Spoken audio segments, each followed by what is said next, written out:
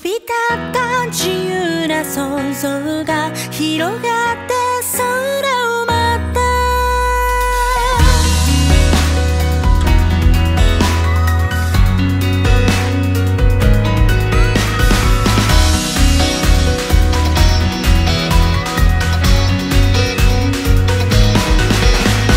月火水木金土の月火水木金も上の正午みたい。つまりどんなことも楽しくなりそう。高鳴る鼓動と旅に出ようそう。ポンコツな僕と完璧じゃない君の相性不思議と意味たいだって今日も。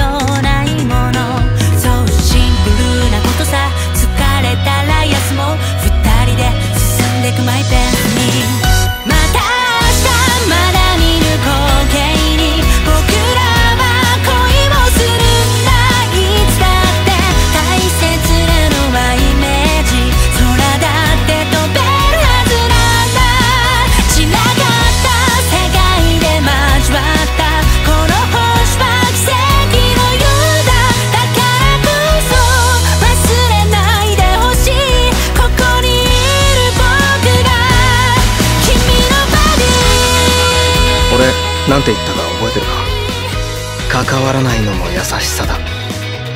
無責任に関わる方がかわいそうなこともある。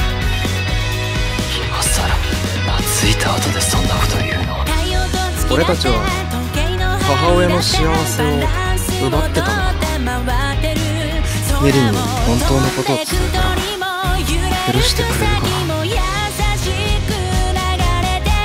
俺たちにできること